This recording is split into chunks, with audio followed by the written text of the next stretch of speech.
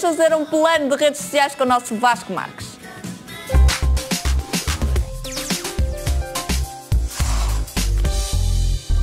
Agora, separador. Já não te vi há muito tempo. Olha, Há tiveste há uma tudo- semana. Olha, vieste, tiveste tudo o que tens direito. É verdade. Separador, Sobremesa. Ah, mas isso tens que esperar. Não é agora, sobremesa. Muito bem, esperar. espera-se, espera-se. Espera-se. Olha, vamos falar sobre algo que me parece interessante, visto que hum, há muitas pessoas que não pensam desta forma ainda nas redes sociais e vivem tudo muito instantaneamente. Mas deve-se fazer um plano. Deve fazer um plano, Uhum. eh, como em qualquer área. Eh, é natural é que num plano de redes sociais, como num plano de marketing digital, algumas coisas sejam muito flexíveis. Mas em primeiro lugar, o que há a pensar, e portanto esta é a altura certa que se aproxima um novo ano, de se repensar a presença nas redes sociais, ou pensar para quem ainda está a começar. Então o primeiro passo de todos, o mais básico, é definir as redes sociais que vou estar presente. Eh, ou ou não está em nenhuma e vai começar em algumas, não vai Uhum. começar certamente em todas ao mesmo tempo. O que estás a dizer é que se deve estruturar e planear e fazer uma estratégia como em qualquer outra área do negócio. Exatamente, Uhum. exatamente. Esta parte vai estar integrada no plano do negócio. Ok. Eh, e, portanto, mesmo redes sociais, sendo muito em tempo real, há muita coisa que pode ser planeada. Por exemplo, aqui no caso do Olá Maria, há eh, já um planeamento dos programas que vão acontecer, portanto, sabem com antecedência eh, e por isso até gravam uns vídeos promocionais para, para, para os divulgar e isso pode eh, e é divulgado antes nas redes sociais. E numa organização, numa empresa, igualmente pode ser feito. Imagine, por uma empresa de formação que sabe que vai decorrer determinados eventos eh, e determinadas formações. Então, deve antecipar isso e fazer uma calendarização de publicações, antecipando X tempo, por exemplo, um mês tem uma publicação, 15 dias tem outra, 3 dias tem outra, antecipando isso. Portanto, há coisas que sabe. Portanto, define quais são as redes sociais que vai estar presente, Há redes sociais que podem fazer mais sentido eh, do que outras eh, e depois que tipo de conteúdos vai colocar em cada uma dessas redes sociais. Portanto, começa-se primeiro por definir que redes sociais, sociais? e depois que tipo de conteúdos, linha, até mesmo de imagem, não é? Porque isso faz sentido, tem que Sim. estar de acordo com a, com- a empresa ou com, o- ou com o produto. exatamente. Eh, Tem que haver aqui uma ligação, tem que tudo fazer uma coerência, uma coerência claro. de imagem que deve ser definida.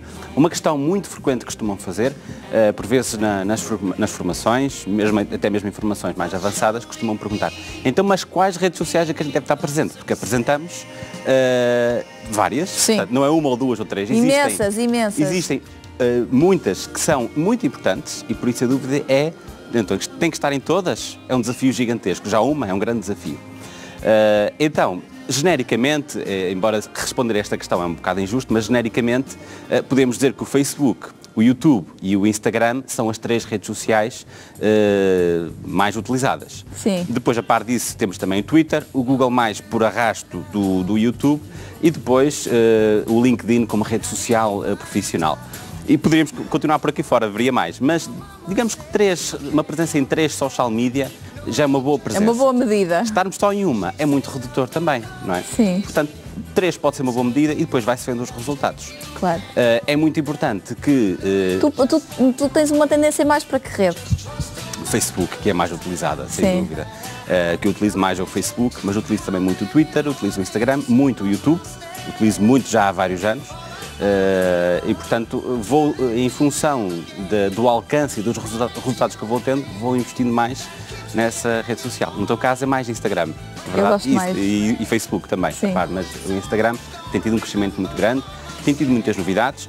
Por exemplo, um pormenor muito importante no planeamento, no caso do Instagram, é que eh, com as histórias exige um outro tipo de conteúdos, mais informais, mais instantâneos eh, e é mais exigente também de tempo, naturalmente. Claro. E na parte de content marketing ou estratégia de conteúdos, é muito importante eu pensar.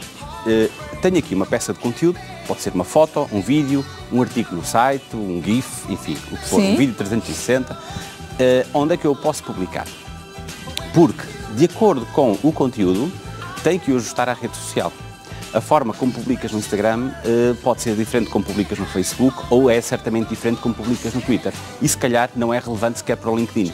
Portanto, temos que ajustar, pensar, vou publicar nesta rede social ou não vou publicar? E se vou, posso Sim, que porque até adaptar. os públicos eu acho que são muito diferentes. São diferentes, naturalmente. Portanto, pode não fazer sentido o publicar em alguma rede social ou então posso ter que adaptar eh, pela dimensão do- dos conteúdos. Por exemplo, se pensarmos no formato de vídeo, a duração que cada rede social aceita varia muito. Instagram 60 segundos, Twitter 140 segundos, Twitter, uh, uh, Facebook duas horas, YouTube não tem limite. Portanto, só no formato de vídeo vamos ter que adaptar de acordo com a rede social.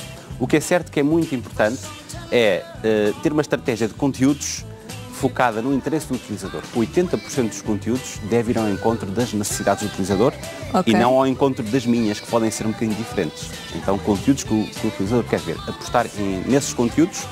E uma coisa bem muito importante é, quando eu pego numa peça de conteúdo, entregá-lo nativamente a cada rede social. Há ainda a tendência do passado tenho um conteúdo no meu blog ou no meu site e agora pego no link e despejo em todas as redes sociais. Algumas nem dão, como o caso do Instagram, pelo menos uhum. sem publicidade. Então, se a ideia é passar a mensagem, eu vou adaptá-lo e entregá-lo nativamente em cada rede social. Isso é muito importante. Nativamente? Nativamente, ou seja, se eu tenho um vídeo, publico no Instagram, publico no Facebook, publico no Twitter. Uh, e o vídeo em cada uma delas. E não colocar o vídeo no YouTube e depois partilhar o link em todas as redes. Não vai funcionar uh, tão bem. Depois, uma coisa muito importante é definir as métricas, porque apesar de publicar conteúdos interessantes para utilizadores, depois eu vou ter que acompanhar as métricas. Eu tenho objetivos com as redes sociais. Pode ser notoriedade, pode ser interação, pode uhum. ser vendas. E isso é muito fácil de percebermos através uh, das métricas de, e agora o Instagram com as páginas profissionais torna ainda mais fácil. E uma funcionalidade que o Facebook está a disponibilizar já é a unificação do inbox. Ou seja, até agora temos que ir ao Instagram para ver as mensagens pessoais. Normalmente não existem muitas, mas é lá que nós temos que ver. Tem que ir ao Facebook para responder às mensagens do Facebook, da página, e também depois às notificações para responder uh, aos comentários. Então estou a unificar, a unificar num inbox só para eu gerir tudo. Comentários nas redes sociais e mensagens do Instagram e do Facebook. Tu acreditas que ainda não consegui unir as duas páginas? Um dia vais conseguir. Em 2017 vais conseguir, certamente. Mas eu achei que este mundo era mais imediato. Já, mas já foi feito o pedido há séculos, há meses. Às vezes demora um bocadinho. Um bocadinho tipo um, bocadinho. um ano? Uh, não é suposto, não é suposto. Pois. Mas, mas Olha, quero falar contigo sobre aquilo que nos uh, trouxeste aqui para, para o nosso estúdio, para, para junto de uma câmara que está ali na imagem. O que é que é? Explica-nos. Temos uma câmara 360. Vamos falar até no, no, próximo programa sobre as tendências das redes sociais. Sim. E uma delas eu vi 360 e, portanto, estamos a gravar este programa em 360 e, portanto, será publicado no Facebook, no YouTube e também no Instagram. Eu vou adaptar aquele vídeo, lá está o que estamos a falar. Sim. É possível pegar num conteúdo e adaptá-lo e ele funcionar no Instagram, vai ser visto de cima em 360, vai aparecer um drone e, portanto, adapto para 60 segundos naquele Uau. formato. É um conteúdo que tem muita, muita interação.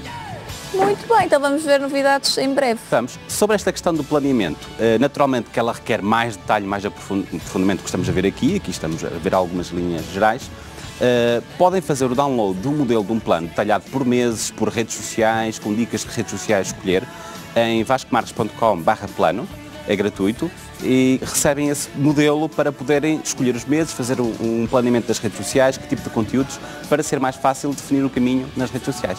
Muito bem, muito obrigada.